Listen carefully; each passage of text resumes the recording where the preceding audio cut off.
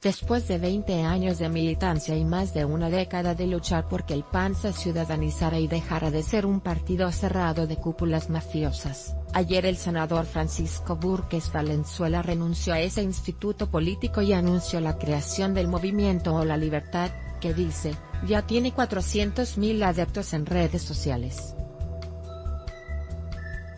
En entrevista, el legislador sonorense, sentenció el final del partido, ya era una lucha que no rendía frutos. Hice el último esfuerzo en las últimas semanas de que se abriera el partido porque es la única vía para que no solamente se salve de una muerte anunciada sino para tener un partido que sea relevante en estos momentos de transición del país. El país cambió como nunca y el partido siguió siendo igual, cerrado, y un partido cerrado, es un partido en manos de cúpulas mafiosas, un partido que se pervierte, no le eco la culpa a nadie en lo personal.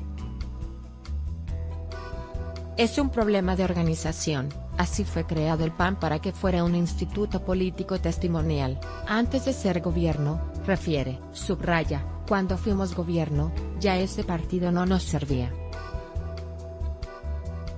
Y cada seis años pierde y pierde presencia y los gobiernos del PAN no hacen la diferencia.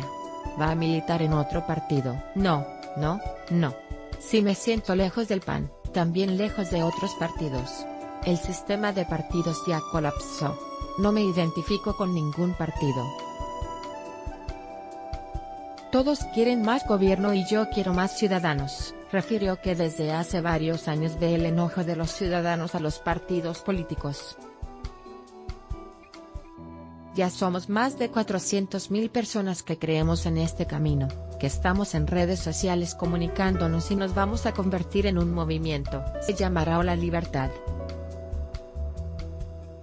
Desconfía Larios en proceso el candidato a la dirigencia nacional del PAN, Héctor Larios cuestionó la equidad y piso parejo de esa contienda interna pues acusó que ya se filtró al diputado federal Marco Cortés que también es contendiente el padrón de militantes que servirá de base para la elección de noviembre, elegido por militantes Marco Cortés Mendoza por su parte dijo que será elegido como presidente de los militantes y no de los gobernadores, quienes apoyan la candidatura de unidad de Héctor Larios y Rafael Moreno Valle. En el PAN nunca nos han gustado los candidatos que puedan ser apoyados por el poder gubernamental. Históricamente eso no nos gusta y a los panistas les gusta decidir, dijo el diputado panista el michoacano manifestó que tiene una fuerza basada en la militancia de a pie y en los diferentes liderazgos en los estados, que lo harán ganar la presidencia del PAN.